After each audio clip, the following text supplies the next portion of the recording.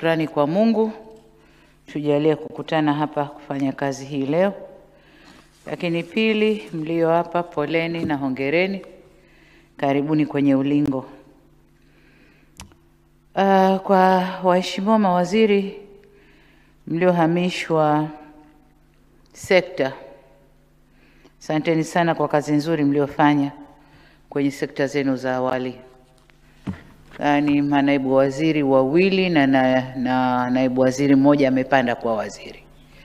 Hii ni ishara kwamba mlifanya vyema, lakini hakuna kazi so kasoro. Nataka mjitathmini, kasoro mlizotoka nazo kule ziacheni. Nataka nianze na waziri wa habari, mawasiliano na teknolojia ya habari.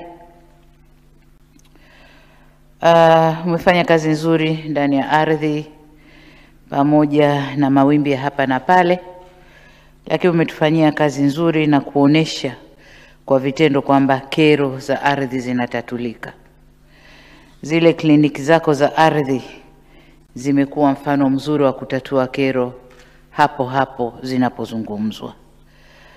Wizara ya Habari ni muhimu sana katika utekelezaji wa ile falsafa yetu ya R4. Uh, na hapa nitagusia uhuru wa habari kwamba lazima uendelee kusimamiwa kikamilifu.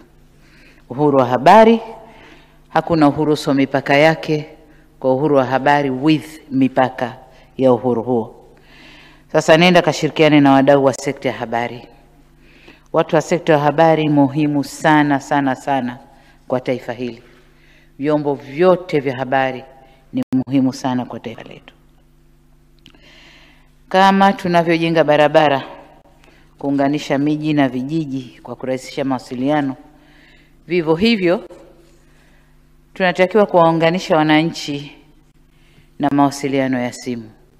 Kwa hiyo kuna makampuni mengi ya simu ambayo yanafanya kazi nchini kwetu, na ili waunganishe wananchi, kuna mradi mkubwa wa ujenzi wa minara kupitia mfuko wa mawasiliano kwa wote UCSAF.